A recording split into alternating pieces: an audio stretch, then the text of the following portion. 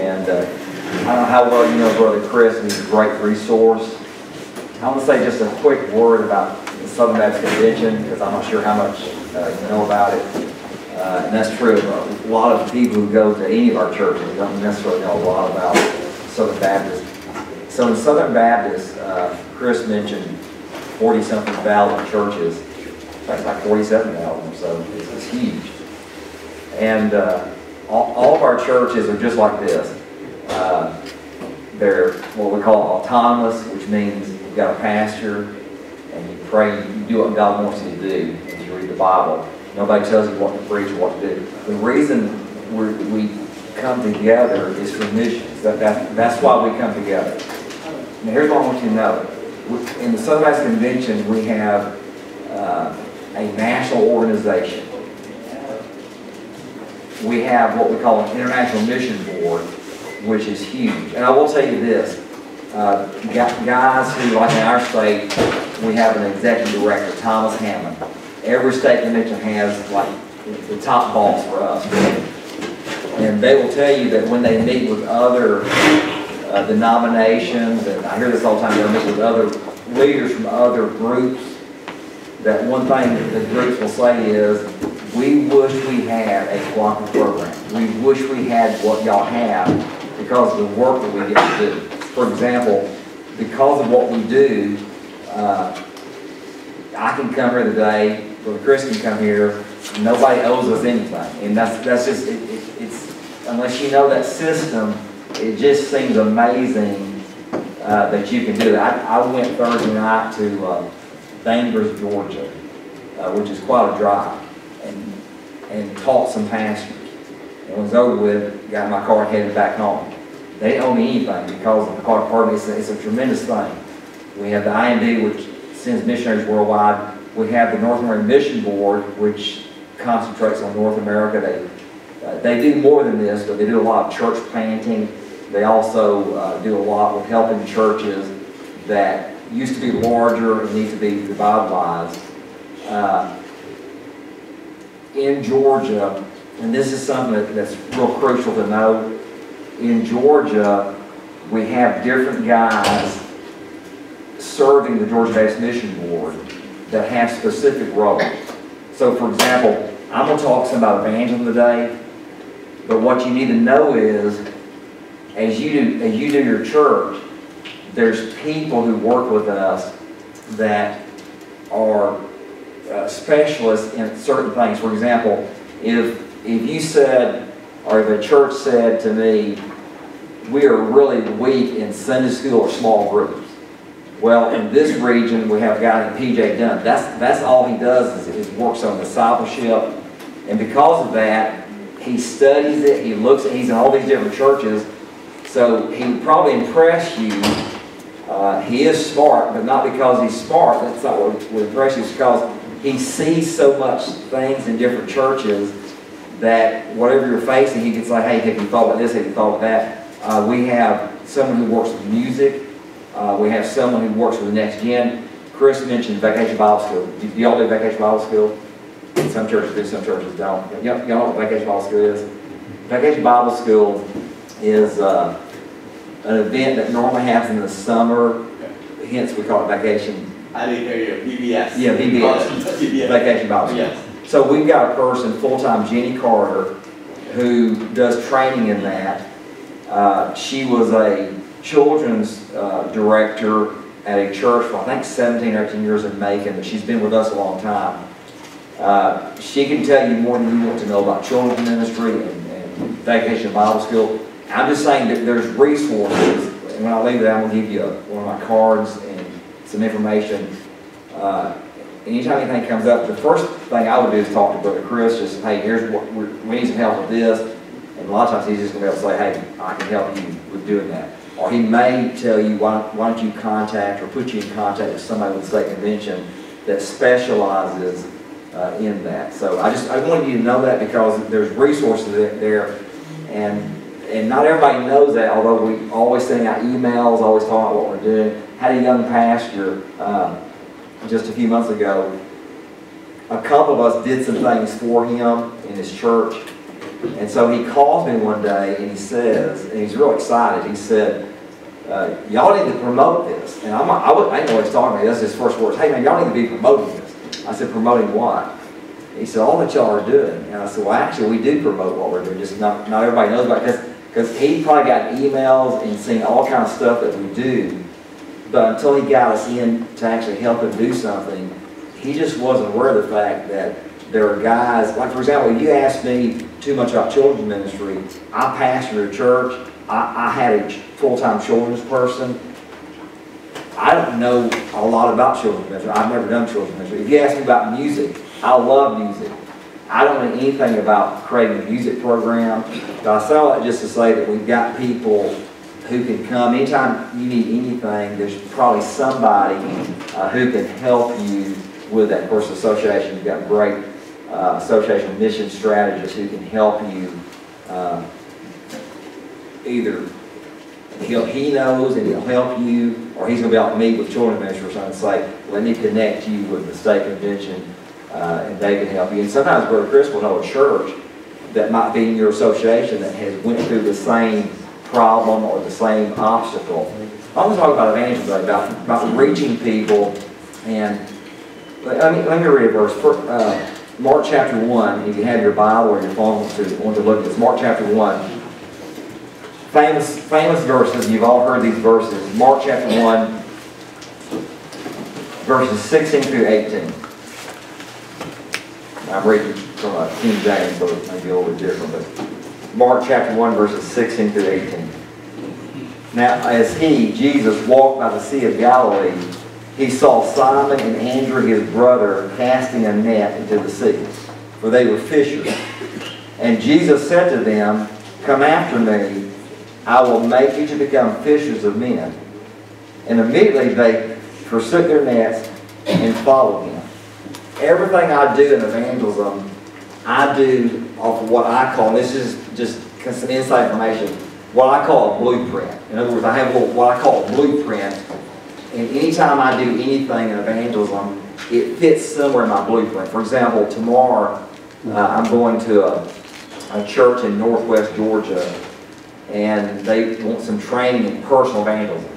Well, that fits in my blueprint, and, and there's nothing that anyone asks me to do that doesn't somehow fit in that blueprint. I say it because I've discovered when churches operate off of a blueprint to reach people, I've never seen one that didn't reach people. I mean, I've just never seen one that, that did not reach some people because the blueprint is just biblical principles of how the New Testament church reached people. And y'all know what a blueprint is. It's like this building before it was built, somebody drew up a blueprint. That's why there's a bathroom there. They, they, they knew exactly, they looked at that blueprint and they put everything exactly where that blueprint. If you, if you ever built anything, sometimes folks will draw up a blueprint and before the actual building goes up, they'll look at it and say, hey, we really would like a blueprint, I mean, like a bathroom over on that side too, and they'll just have to, you know, draw, you know, uh, the, the, the, the, uh, the dimensions for a bathroom but if you don't change anything, this building looks exactly like that blueprint did. And so we operate off of blueprints. I want to make some statements uh, from, from my blueprint and from the verses that we read. In the New Testament, there's two illustrations about witnessing used over and over.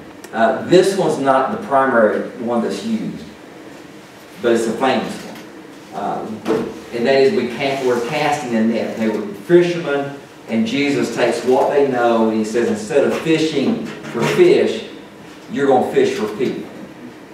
The other illustration he used was sowing seeds because they lived in an agricultural society. He talks about the harvest. Uh, he talks about uh, the fields are white, they're ready. And so what that means is, if I'm going to reach people, and I did this when I was a pastor, if I'm going to reach people, I'm always looking and asking myself this question. In what ways is our church intentionally throwing out the net? In what ways is our church sowing seeds? Because here's, here's what doesn't happen. You never reap a harvest that you haven't sown. Give you an example. I have friends who every summer will have a little garden. I don't ever have a garden. They have a garden, and so you'll see, sometimes they'll tell me, or I'll just see on Facebook or, you know, Instagram, social media, they'll say, look at these tomatoes. It would be crazy for me to say, I would like to have some of those kind of tomatoes. I'm gonna go out in my backyard and see if I've got any. You don't have tomatoes if you didn't sow it. You don't have corn if you didn't sow it. And everybody, you know, shakes their head or responds, so of course. There are churches that don't understand why they're not reaching people. And the problem is they're not casting the net. They're not sowing seeds. And so let, me just walk you through my blueprint. If I went to pastor a church tomorrow, for example, if I had become the pastor of this church, of course God's called you here, but if I had become the pastor, within the first week, I would find out whoever the person is who goes here that would know the answer to these two questions. I, I, I would pay to know this. Number one, does the church have many first-time visitors? In other words, is it normal to have people visit on Sunday? Because I can tell you why I want to know this. In the state of Georgia, every county tomorrow, every there's no exception, every county tomorrow will have about 80% of their county at home. They won't be in church. Which means this, it doesn't matter what county I pastor in, most people don't go to church. In fact, let me just tell you this. In Georgia, we have almost 11 million people. The next time we do a census, we'll have 11 million. We're a growing state. In the last 12 months, 70% of Georgians did not go to church one time. I'll say it again. We have about 11 million people. In the last 12 months, about 7, about 7 million people did not go to church once. They didn't go to Easter. They didn't go to a wedding. They did not step inside a church building. Now that sounds bad. It's actually worse than that because when they do this survey and they ask people, did you go to church last 12 months? If a person said, yeah, I went to, I went, I went on, on Easter. Well, then you don't count. You, you, you went to church. Well, one time a year is not much. So most people don't go to church. I want to know, do we have many first-time guests? I'll tell you why I want to know that. If, if you told me we don't, that tells me you're not inviting people. Because if we're inviting people, they all don't come, but some people come. Second question I'm going to ask is this. If you tell me we do have a number of first-time guests, it's very much uh, a normal Sunday to have a guest. Now, I'm not saying you have it every Sunday, but you would say two, two, three Sundays a month, we, we have first-time guests. I'm going to ask you this. Do you know what percent of first-time guests come back? Because if you, if you said this, well, Pastor, most of them don't come back. They come one time. You know what that tells me? They're seeing something they don't like. I need to find out what they don't like. It could be music. It could be that they feel like you don't have you don't have anything for my family. Like I've got young children. I've got high school students. I need to find out the, the answer to those two questions. We have very many visitors? And secondly, do if we do have visitors, do we have a high percent that come back for a second, third, fourth visit? And those are crucial things to know.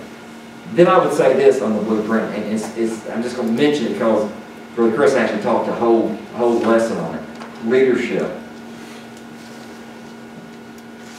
Churches are never evangelistic unless there's a leader. And I don't mean just you expect the pastor, yes. But there's all, also has to be other leaders.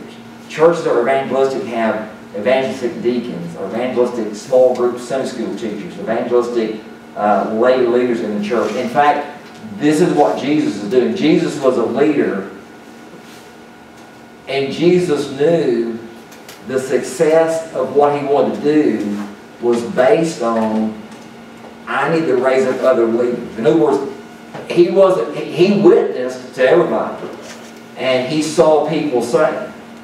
Uh, for example, the thief on the cross who responded to Jesus, who, who Jesus said that they would be with me in paradise. That person never became a leader. Not everybody becomes a leader. Uh, Zacchaeus, I don't know what what the end result of Zacchaeus was. I know he got saved.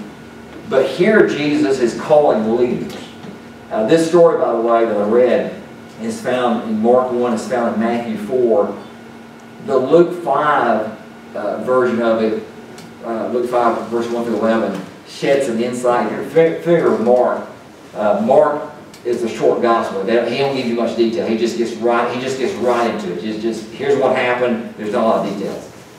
And so if you didn't know the other uh, gospels, what they say, you would think that. And I thought this when I was young. It seemed like Jesus walked by and didn't even know this guy. and Said, "Hey, come follow me." Actually, there was a little bit of relationship. But in Luke five, Luke tells us they had been fishing all night. They caught nothing, and they were cleaning up their nets which was a huge job to do. In our, our day, we'd say they had worked the night shift. They, they'd worked all night. And they're probably tired, ready to go home and get some sleep. And Jesus said, launch back out. And you remember Peter said, and we, we fished all night. And what he's trying to say is, hey, we, we've been working all night. But nevertheless, we'll do what you want us to do. And they caught more fish than they had ever caught before. The nets began to break. And they called their partners over and that's when Jesus said, follow me, I'll make you fishers of men. And so they understood some, something about who he, who he is. So his leadership, and this is genius, is so clear and understandable. Now, now you could write books on what he said, this one statement. Follow me, I'll make you fishers of men. We call it an elevator speech. In other words, just in one sentence, Jesus, tell, tell me what you want me to do. Follow me, I'll make you fish men. Again, you can write books about it. Follow him is going to talk about tithing. Follow him is going to talk about prayer. Follow him is going to talk about the Word of God. Follow him talks about relationships. Follow, follow him talks about, you name it, if it's spiritual, that's discipleship. And then fishing for men is sharing the story. And, and by the way, if you try to create this environment, that's the order sometimes I go and train, I may find this tomorrow this way. Sometimes I go and train, and here's the problem. I can go and train people in evangelism, but apathetic people don't witness. People who don't follow Jesus don't share Jesus. I'm, I'm just telling you, sharing Jesus puts you under the most spiritual warfare you're ever under. Because if you're actually sharing Jesus, you're invading the enemy's territory. You're trying to see lost people coming up. Jesus say, hey, I want y'all to fish for people. And, boy, you're you might want to follow me. You can't do it that way. He knew what he was doing. Follow me. That, that's your job. In fact, uh, my pastor always said it this way. The business the church is in, and it never, never will not be in this business. This is the business we're in. We're in the following business. We follow Jesus. We're in the finding business. We find lost people. And then when we know who the lost person is, we fish. We tell them about Jesus. And, and Jesus, as a leader, over and over emphasized this. Uh, over and over, he talks about the harvest. Towards the end of his ministry, he looks at the disciples and says, Hey, I want y'all to look at something. The fields are white to harvest. But then he says, the laborers are few. And he's actually talking to them. And he tells them, you need to be part of reaping the harvest. And then he says, secondly, not only do you need to be part of reaping the harvest, you need to pray.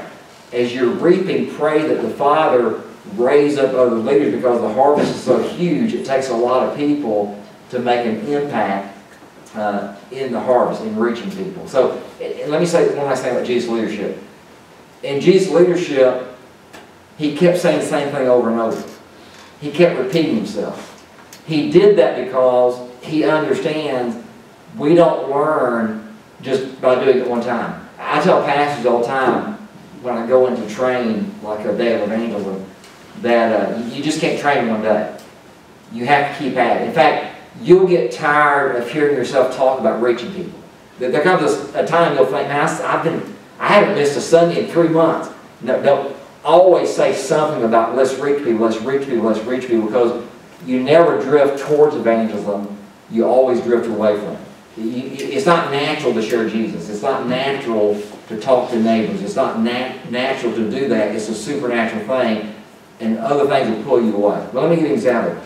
So as these guys follow him, he did this over and over. As these guys follow him, they saw something. They saw that wherever he went, he shared who he was and what he could do to save people. The woman at the well, Zacchaeus, Nicodemus at night, they saw over and over that he modeled it. Uh, there's a leadership uh, person, John Maxwell, I know Brother Chris has read a lot, I'm sure, that calls this the law of the picture. And what he says is, people do what people see. And boy, did they see it. Around Jesus, over and over and over, he talked about new life. He talked about accepting Him. He talked about being born again. He used every opportunity to take conversations and turn those conversations into himself. Let me give you an example. The one at the well went to draw water, and Jesus did what he always does. He, he took, he took a daily conversation and turned it around. Uh, he said, give me something to drink. And he knew that would get her attention because in that day, you know, men didn't speak to women they didn't know in public, not in Jesus' day. And Jews didn't speak to Samaritans to start with. And so that got her attention. And she said something. And Jesus hooked her. His answer to her question, why would you ask me? All he said was, if you knew who I was, you would ask me for water. And we don't know her facial expression, we don't know the word. I'm assuming she must have looked him up and down, like, where's your rope? Because she says, you don't have a rope and the well's deep. And he says, I'm not talking about physical water. So he took everyday conversation, and the disciples heard and saw those things. And then he did this. In Luke 15, and this is an example he did all the time. He repeats himself over and over. He, he, he says, this is, let me tell you three little stories. There's a woman who loses a coin. She's got other ones, but she sweeps the whole house. And she's not at peace till she finds what she's lost. He's not talking about coins, he's talking about souls. He says, there's a man has a hundred sheep and one gets lost. He's not content with 99. He doesn't say, well, I still have 99. He wants the one that got lost. He goes and pursues it. And he says the man has two sons.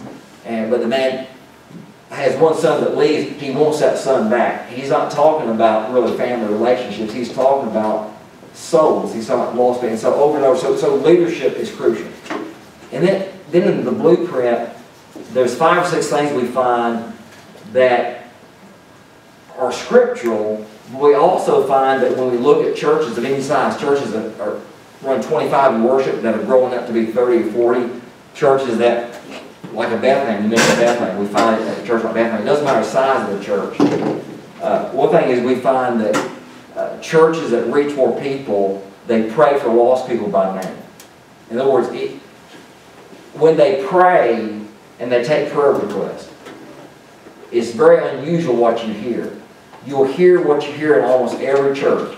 If the church I'm going to go to tomorrow, if the pastor before the training asks for prayer request, if it's a normal church, I can tell you what they're going to pray for. They're going to pray prayers like this. Remember Miss Sue. She's going to have an operation this week. Remember so-and-so, they've lost their job. And, and, and we should pray those things. But what we find in churches that reach more people, lost people, you hear those kind of prayers, but you also hear this. Hey, pray for Joe. He's a new coworker. He came about a week ago. He's lost.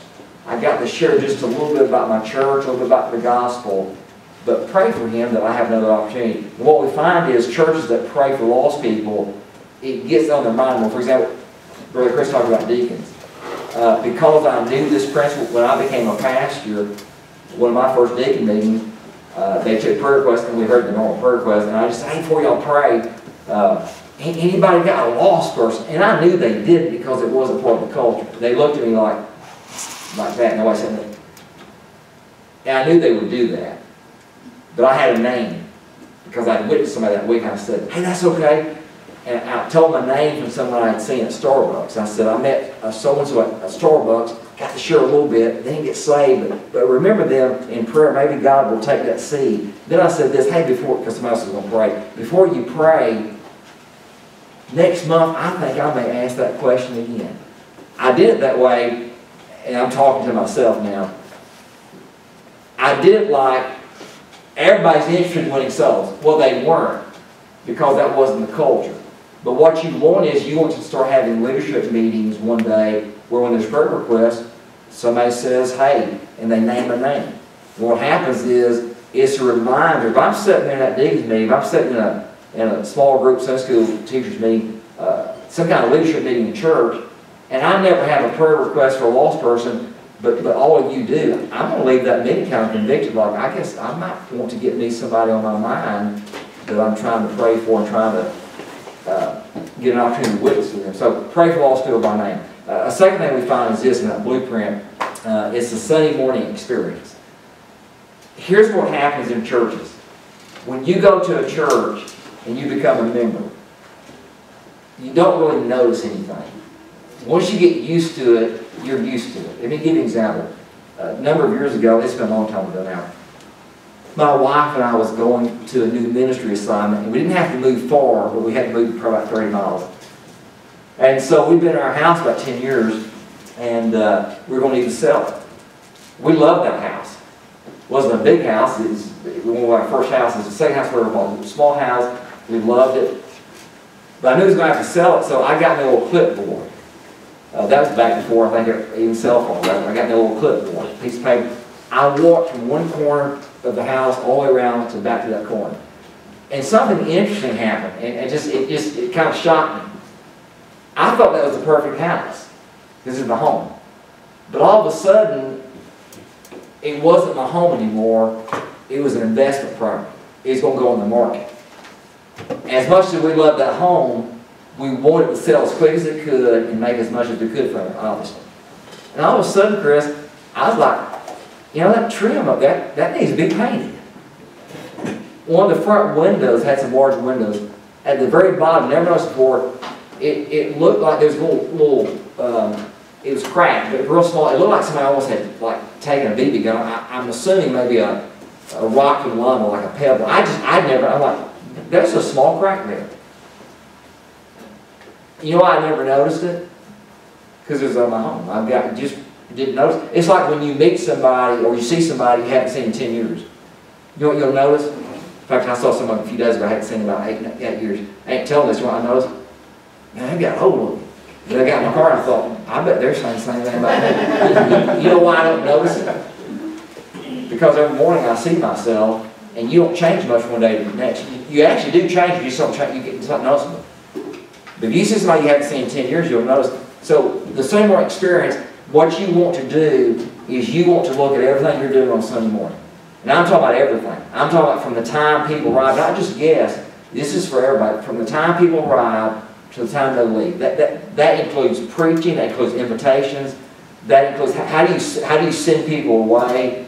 Uh, for example, I preach for pastors sometimes, or if I'm not preaching and they, you know, I'm just there to hear them preach and they give an invitation, they don't know they're doing this, but a lot of times they'll walk out of the pulpit and they've got their bulletin on their Bible and they're standing there, but the first thing they do, they're doing this, I know what they're doing. They're looking at the next thing. Whereas what they should be doing is giving invitation. They should be doing like this. They should, I mean, I'm saying, giving them with expectancy, and nobody may come. But that's not my business. My business is to give the invitation. My business is to have expectation. I shouldn't be surprised if somebody comes. I should be shocked if nobody comes because the Lord God is that good. He's such a great Savior. You, would just say, everybody ought to come and pray. No, everybody. But my point is, look through everything you're doing and critique. it. Because once you get familiar with everything, you just don't notice that some things about your church. You just don't notice some things Chris notices a lot. I notice a lot. Why? When you go to different churches every week, it's amazing how they treat you or, or don't pay attention to you because you're, you're not part of that church. And so, walk through everything that you do. And I will tell you this, any size church ought to have some kind of, you call it what you want to, hospitality team. Uh, I like the term first impression team. A, a, a team, it, it, by the way, a team can be two people, but some kind of small team that is looking at Sunday morning. And uh, give I went to a church not too long ago, and uh, there's a greeter, and just, I mean, just outgoing welcoming. And when I asked where something was, they said, well, let me, let me take and show you. But then they said this, and isn't this neat? They said, it's the first time here. I said, yes. They said, you're going to love it. Our pastor started a series on prayer last Sunday. That may be the best message on prayer I've ever heard. It's going to be good today. I thought to myself, that's the kind of church member I want. That's, if I'm pastoring, I want to read like that. But I also knew this from being in church work, that was an accident. Somebody, somebody had trained that person. Somebody took the time to go to them and say, uh, maybe something like this, hey, three weeks from now, the pastor's going to start a new series on prayer. There's going to be four messages. Here's the title and the theme. You may want to have that handy. If you come across a guest during one of these Sundays, you can let them know what we're doing. Don't you think that's a nice touch that somebody, and I go to some churches where I may ask the greeter, where such and such, and this is true, that's like, oh no. And you're sitting there thinking in your mind, are you going to find out for her? Are you, are you going to? And in church, we get used to that. The problem is we live in a culture that's not used to it. So, example, if you went to Chick-fil-A this afternoon, and say you went to the drive-through and you said, hey, y'all still got uh, any peach milkshakes? If the person with the uniform and name tag at Worship Chick-fil-A says, oh no, you'd probably think, you work here, you ought to know. A guest expects an usher or a greeter to know about the church. And I'm just telling you, think through everything that you do. Uh, think about next steps. And we can do a whole lesson on this, but just think, it's, it's crucial. In fact, they tell us, and I believe this, ever since I've been minister, this has been true. They tell us that a first-time guest within about five to eight minutes. I, I, I've never seen it above eight minutes. So we'll just, we'll, we'll go with eight. They make up their mind whether they'll come back the next week. That's convicting. Because if they get there five or six minutes early, it means they make up their mind before they hear the singing. They make up their mind before they, they, they sort of make it before they hear the preaching. Most churches have about 30 minutes of singing before the preacher gets up. I've never seen a survey that said they make up their mind in the first 40 minutes. I've never, it's always, eight, nine minutes is the longest of any survey I've ever seen. I've been keeping this for 35 years. I've never seen one more than eight or nine minutes. Which means, unless the preacher preaches first, which is, you don't see that, it's music first, they don't even get to hear the preacher preach. They make their mind. I say that as an exaltation. If you're on a first impression team or you're a greeter, you have one of the most important jobs in the church. You, you, are, the, you are the person that they see first before they see anything else. The third thing is this, uh, personal evangelism. Churches that really major on reaching people, that become fishers of men, they're very intentional about personal evangelism. They talk about it, uh, they model it, and just like Jesus, uh, it's good for pastor and staff and people who are on the stage. By the way, the staff doesn't have to be a paid person. It's somebody who leads music, somebody who's a deacon, somebody who's, who's a visible leader. It's important that, that they take the opportunity to talk about the fact they've been sharing Christ. For example, I don't get to go to my home church very much, but my pastor is a great soul winner. I never go, but that he doesn't share something. It may be just something in a message. It may be, uh, you know, right before a prayer time, he may just say, hey, y'all pray. Y'all pray for me. He'll name a name. Uh, I went to a restaurant the other day and got to share Jesus, and he may say, they didn't get saved. I'm hoping to get to go back there. What he's doing is he's letting his people know that I not only preach to you about sharing Jesus, I not only preach to you about inviting people, I'm doing it just like you are. I'm out there trying to invite people and do those things. So personal evangelism. Uh, in the state of Georgia, any size church, if we look at a church that runs 30, and for their size church, they're baptizing more than, than most of the other churches running 30, or it could a church running 3,000, doesn't matter. But all size churches, the top churches that are baptizing and reaching people in those size categories, almost ninety percent of them have at least one time of intentional evangelism training, personal evangelism training every year. Some do more than that, but, but they have at least one time of personal evangelism training. Because what they're trying to do, they're trying to keep it before their people that we need to be sharing Jesus. Right underneath that, I'm not putting it on the same level, right underneath sharing the gospel, you need to create a culture of inviting people. You need to make sure we're inviting. I'll give you an example. Uh, Peter is one of these first two guys that we just read about that got called. Simon and his brother got called. Simon, before he's called Peter, remember how he met Jesus? Andrew didn't witness to him. Andrew didn't say, hey man, Peter, I'm going to talk about something. All have sinned. He didn't do that. He came to him and said, now I just saw somebody. I believe this is Messiah. Come and see. He brought his brother to Jesus, and Jesus shared. In fact, if y'all remember Billy Graham, Billy Graham did all these huge crusades uh, in his ministry. He borrowed that, and every crusade he did, there was a section in training called Operation Andrew. What it meant was, you need to put names on a paper of lost people you know, you pray for them, and get them to the crusade. Because if they come to the crusade, they're going to hear the gospel, and there's a high possibility they might come to know Christ. Local churches that way invite people. And, and the more people invite people, here's how it works. Sometimes pastors tell me, I probably invite three or four, five people a week. And that's awesome. He's just one guy. He's talking, he's talking about out there in the community. He just invites the restaurant. Here's the problem with that. Pastor's one man is one leader. What if 10 people, or what if everybody here said on average week I invite five people? Well, you start counting the people here, all of a sudden, we're not inviting five people a week, we're inviting 60 or 80 or 100. That's when you begin to see more people coming. And, and when you look at the same community, what happens is you'll find that church members sometimes go to the same places of business. And so let's just say a restaurant.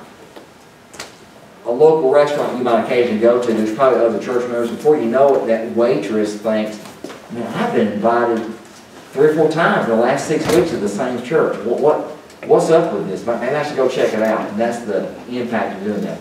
A fourth, fourth thing in the actual blueprint uh, is, and I, am not counting leadership as a point, but fourth thing in the actual blueprint is that they focus on event evangelism. Event evangelism. Until I know this.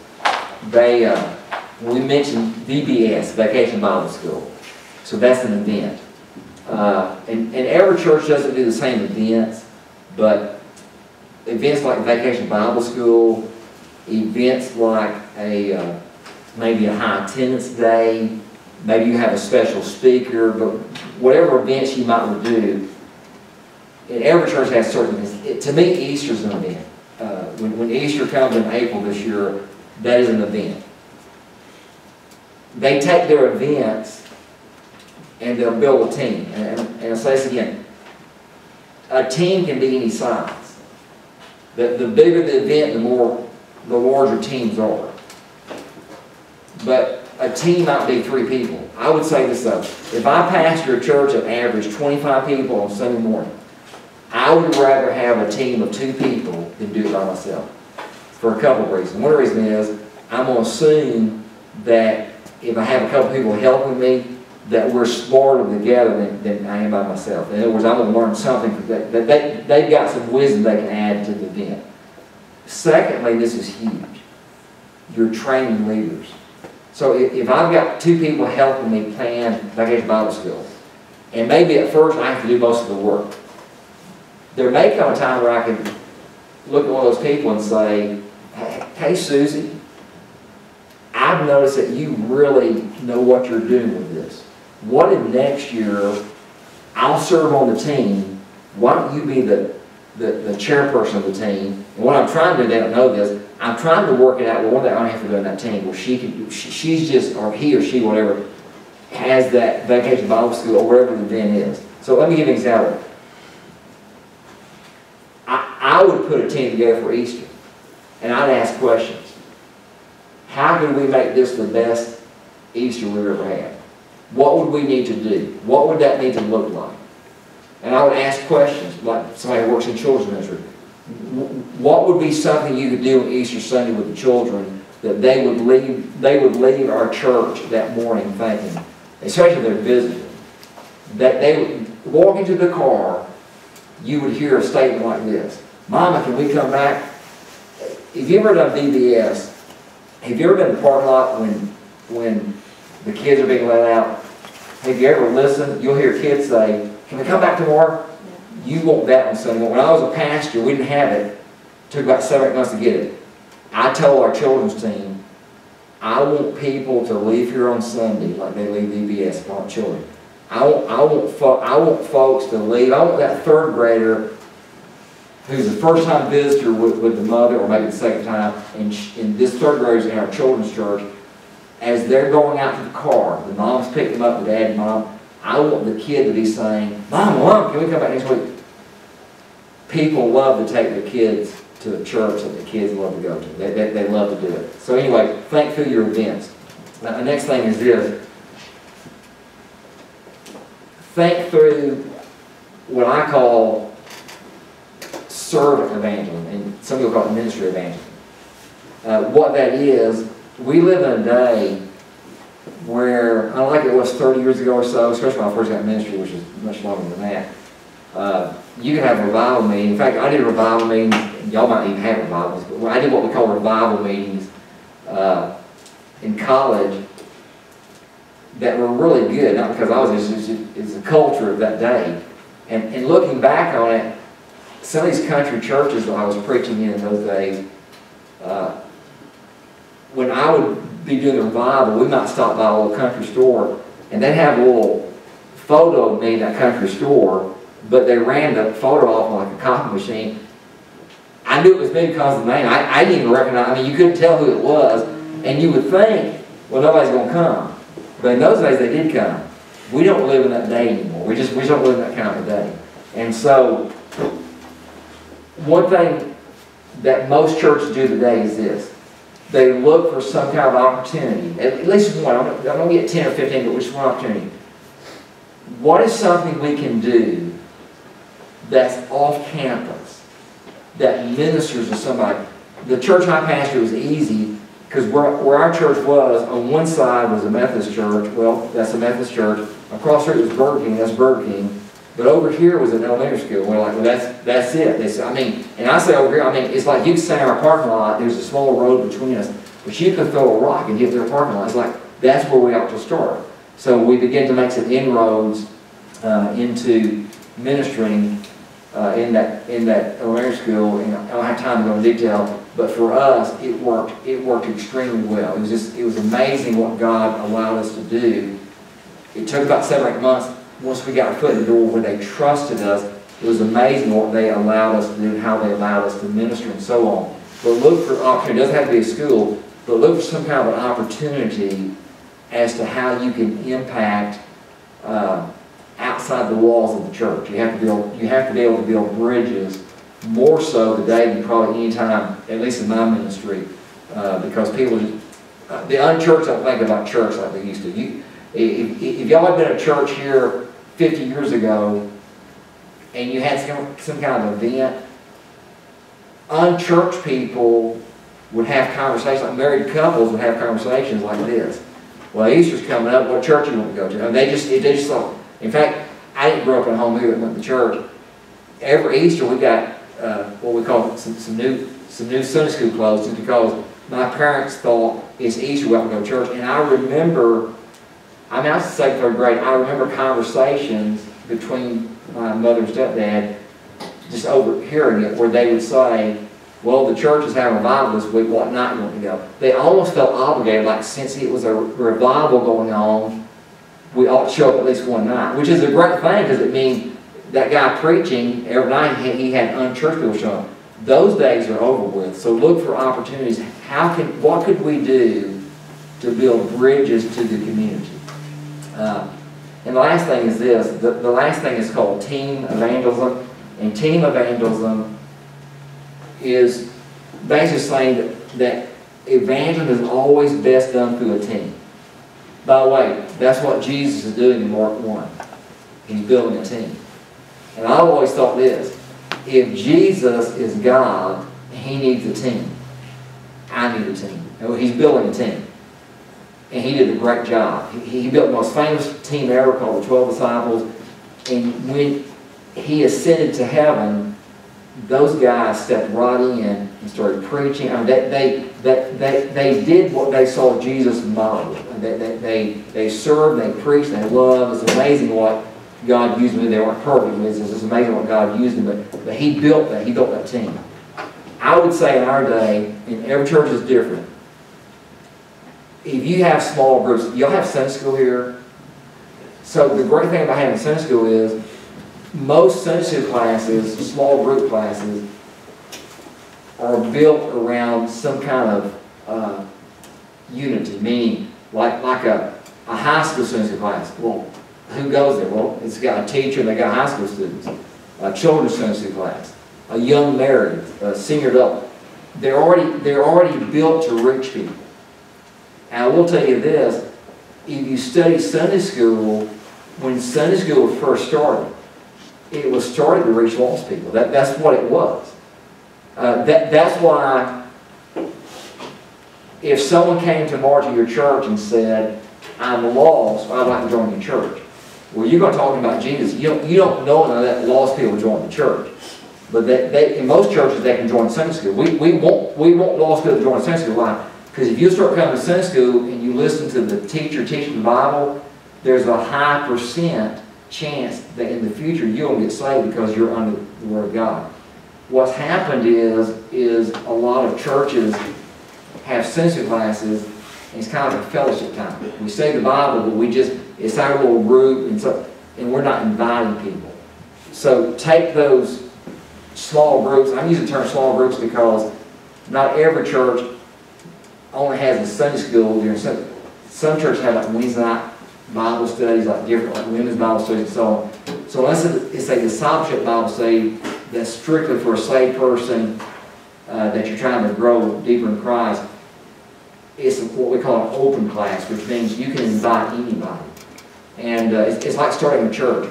This church, there's, the reason there's a church here, somebody started this church. And that's true of every church. Every church had a first Sunday.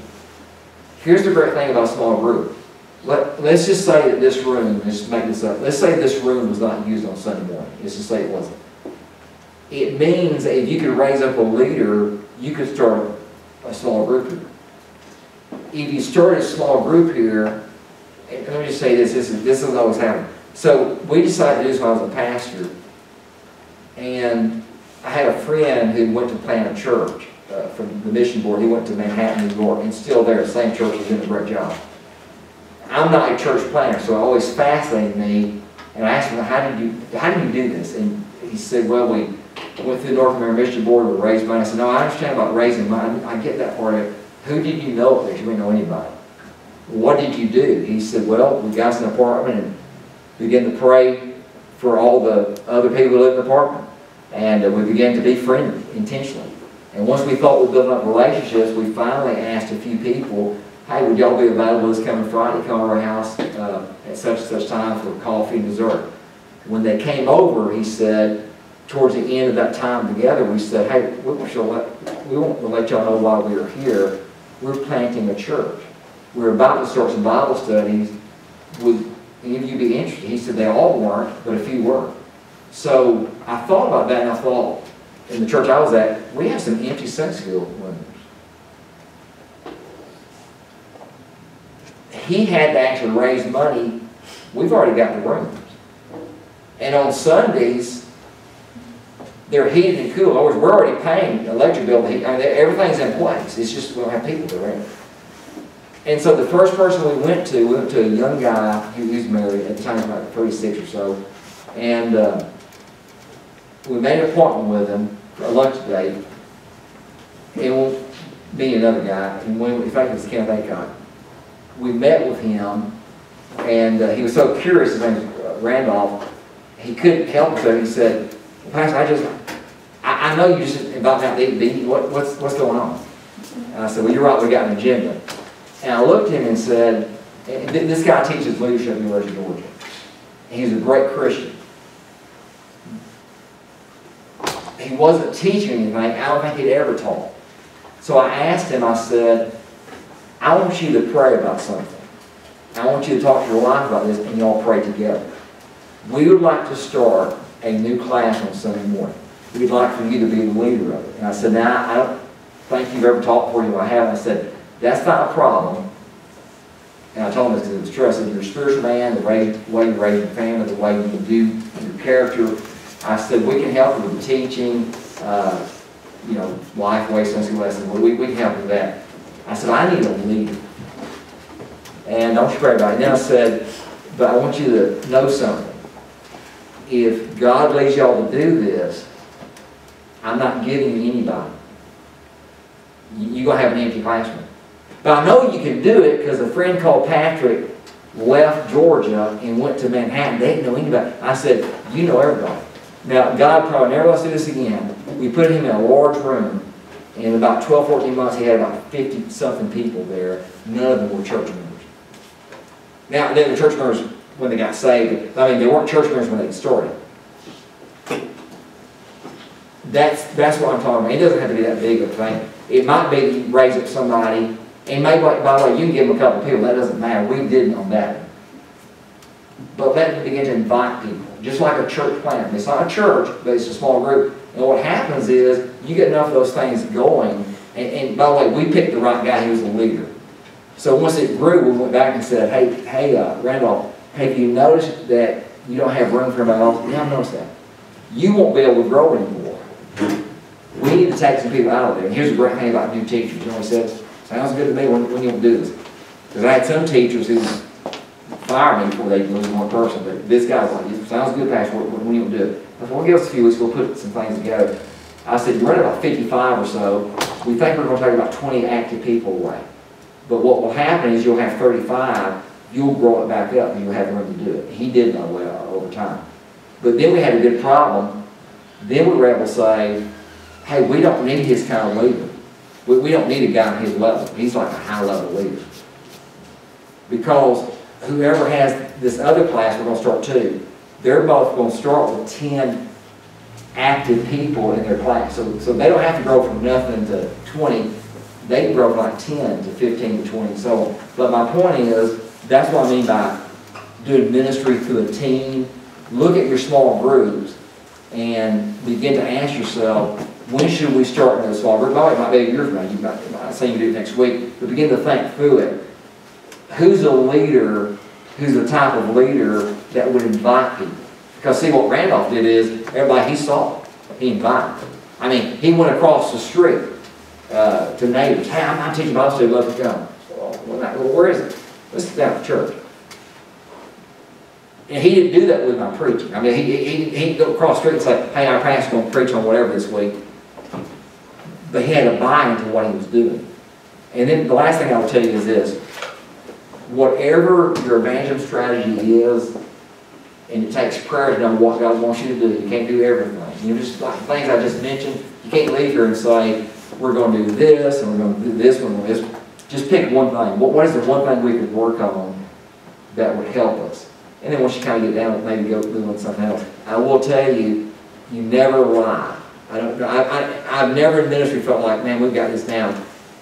I felt like we had some good things going, but I never thought we were perfect in what we're doing. I don't think a perfect evangelist or a perfect witness. You're always striving to be better. But once you decide those things, here's our evangelism strategy, here's what we're going to do, here, here- here's what we think through prayer, and of course the pastor is the one that's really going to set the tone for this. Here's the first thing we have to concentrate on. When you do all that, you need to do this. Number one, use your stage, your stage. And, and, and I mean your physical stage. That stage in there, make sure you're weaving your strategy through that stage. I don't know if this has happened to you, it's happened to me before. Have you ever been in a church where leadership says something, we're gonna do this, this, and this, and like eight weeks later, you're with somebody and they say, well, what about such and such that they mentioned a couple months ago? And the response is, I ain't heard nothing else about it. In other words, sometimes we talk about, we're gonna do this. And then what happens is, it's never really brought, brought about two weeks, and then, a year goes by, and you're like, whatever became of that? Don't let it happen with your evangelism. Whatever, whatever you feel like you should be doing, just like you know, this coming, which is tomorrow, you probably know who's gonna pray, who's gonna lead music, which pastor's preaching. If there's a baptism, you, you, you know what you're gonna do. There, there's, there's an order. Have an order, not that you give out to everybody, but make yourself a note. How am I going to talk about evangelism this Sunday? And I don't mean an hour, it, could be 30 seconds. Uh, when I was a pastor, sometimes, for example, not, every time we baptize, but sometimes when we baptize, I might make myself a note and just say something like this. Man, this is, this is what it's all about. This is the only reason we exist, is to point people to Jesus. Uh, but ask yourself, what are we going to do tomorrow? What are we going to do next Sunday? So ever since, so, so weave it through that, through that stage and make sure it stays before the congregation. This is who we are. This is what we're about. Second thing is this. Use your stage.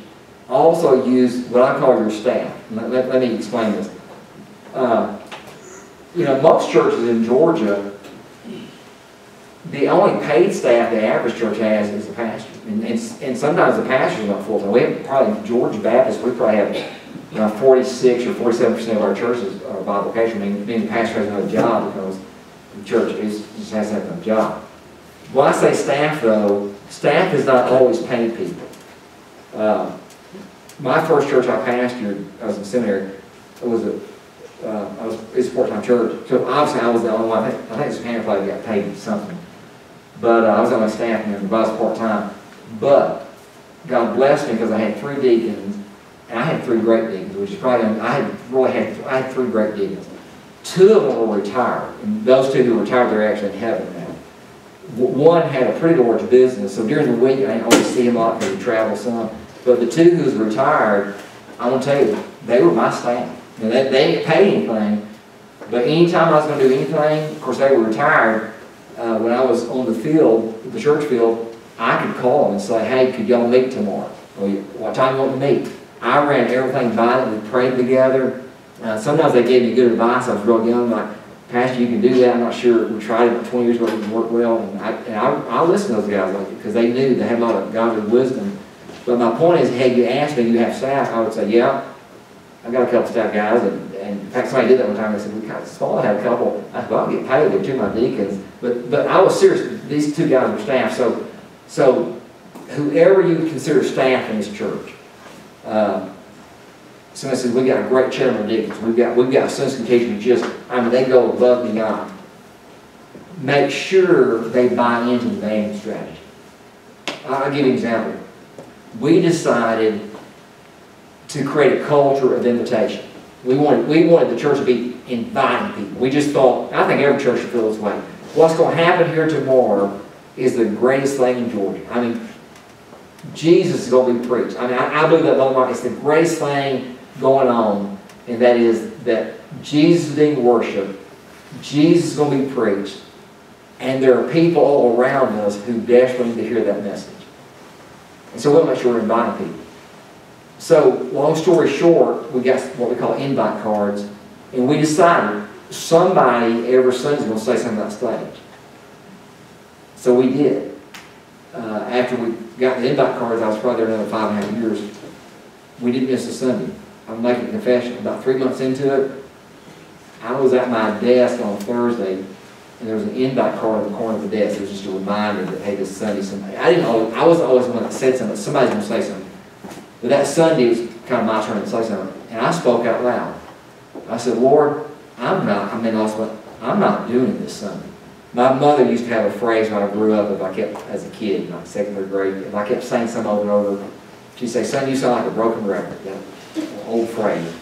So I told the Lord, I said, well, I sound like a broken record. I just feel, and then it dawned on me, no, the impact of those invite cards lies in the foundation of it being mentioned every week. And so we did it.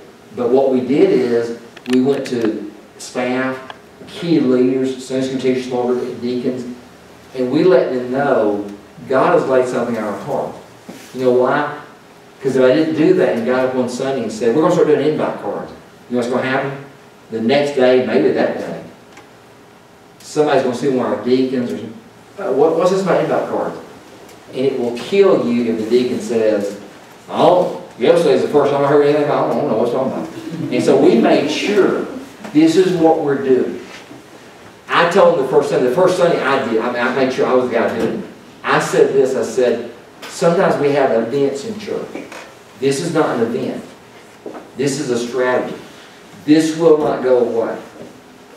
Every Sunday, you're going to hear something, even Easter, I mean, even, it didn't matter what day it was, something was said about the invite card. Uh, I think the first Easter, we said something like, uh, wow, isn't this awesome? We got a full house. By the way, some of this is just the result of those invite cards that we invite people all the time. My point is, we always look for opportunities. So use your stage, use your staff, then use what I call your structure. Your structure, not your physical structure, but, but the structure, spiritual structure of your church. Whatever makes up your church, you, you say, well, we've got a youth program, you say we've got a children's program, whatever makes up your church weave that strategy through everything you do. So we were very intentional. Uh, you got a person volunteer works with students or with children. Get with them. What are you doing and how can we help when it comes to evangelism? We went to our children's person, which was part-time. I had to get somebody part-time. Ultimately, we got, she became full-time. She's still there, by the way uh, because we grew. These, these invites work. But my point is, we went, we went to her, she had no staff on, so I did invite and sat down with her and said, give us some ideas on how you could use invite cards and challenge your children to invite people. And so, throughout the course of the year, she do so this, she, she might, she might let me know, hey, Pastor, just let you know, two weeks from now, you might see a lot of kids in pajamas. That's going to be our pajama Sunday. I got news for you. They, they, they, some Sundays, once it started growing, they have 30, 40 new kids there just because some third grader invited a third grade friend, which is the neat thing.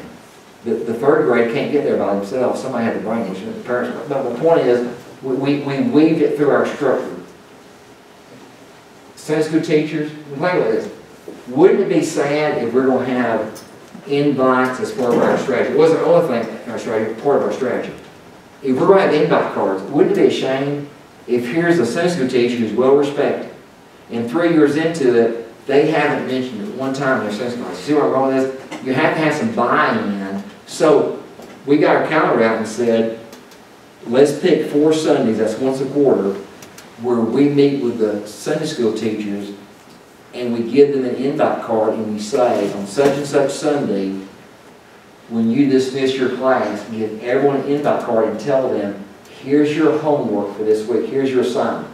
Do not come back with that card. Don't leave it at home. Put this card somewhere.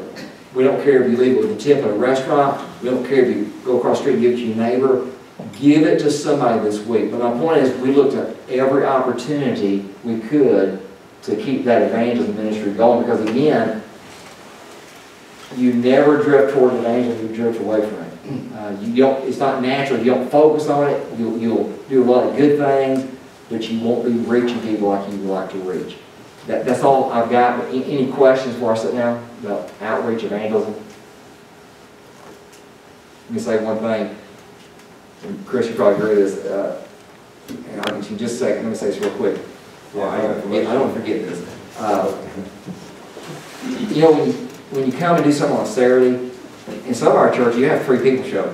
This is, Pastor, this is a great group on a Saturday morning to come out. So, not knowing a lot about your church, this is a great core group to have on a Saturday morning, cold, lots going on, a lot of you worked all week. I just want to compliment y'all. In fact, I'll tell Chris before I said, wow, they, you guys have showed up. That's a great thing. Yes, sir. Yeah, that question, I I know we're talking about reaching out, Yes, great, but uh, today, Chair, I know, I understand, like Sunday school is very important, Yeah. but what can we do to encourage the church members to attend Sunday school? Yeah. Do you have anything to like encourage and touch, touch us for, for us? Yeah, there's a few things you can probably do. I'll tell you one thing I, I, I did, and, uh, well, of course, I got from Johnny Hunt, I'm sure it wasn't original with him. I didn't do this every Sunday, but maybe about every six weeks or so, I would say something to the church. Usually if I made an announcements or if I was going to do the prayer, uh, I would say something this, maybe every six weeks or so. I'd say, hey, we, we live in a busy county, this, this bu- busy area y'all are in, growing area. Some of you drive into Atlanta to work and y'all are busy. I would say this, do me a favor as your pastor. If you're just so busy that you don't have time for Sunday school in church, don't come to church. I'd rather you come to Sunday school. Because I knew this. I knew that if people get involved in a small group, they stay in church longer. In fact, I'd say, I preached a Bible school where a pastor has told me after the Sunday morning service, you may have seen some people leaving after Sunday school, they're mad at me. That's interesting. They're mad at the pastor, they ain't gonna miss Sunday school. I've known people who, for whatever reason, will, will go to Sunday school here, and- and don't do it here, but here, and drive five miles down the road to go to church. And that's why we emphasize, one reason we emphasize Sunday school.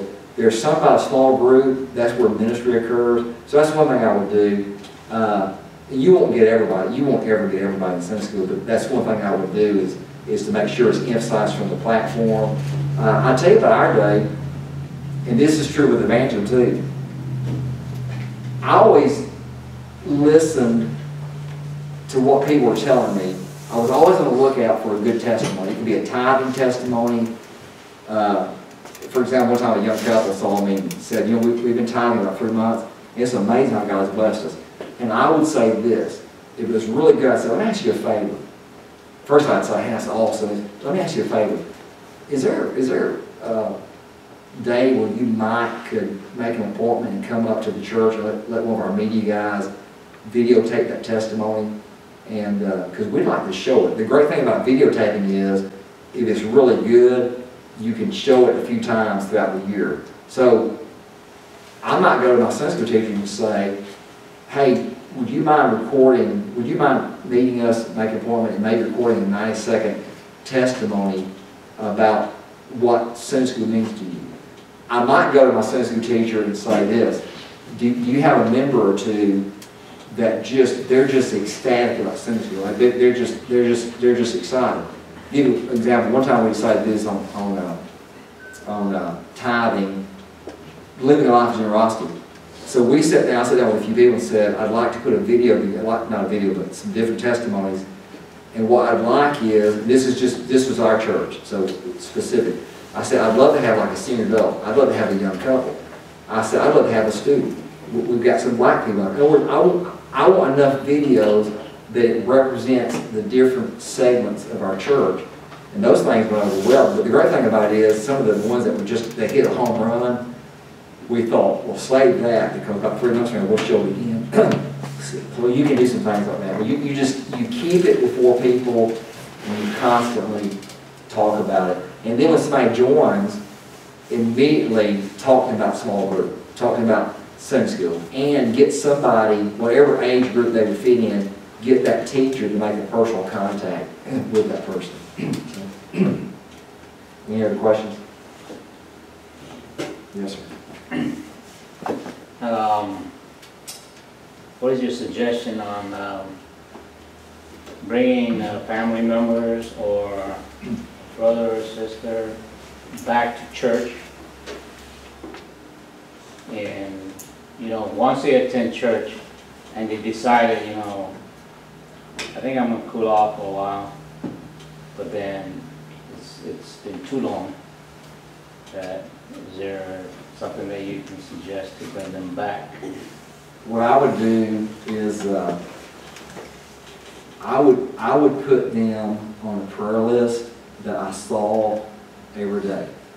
I'd be praying for them every day, but I would pray for them every day. And by the way, and not just family members or friends, like a next door neighbor, and I wouldn't do, don't, don't put fifty names down, because that's too many, but I would have two or three people on the list, at least one. And what I would do is I would be praying for them.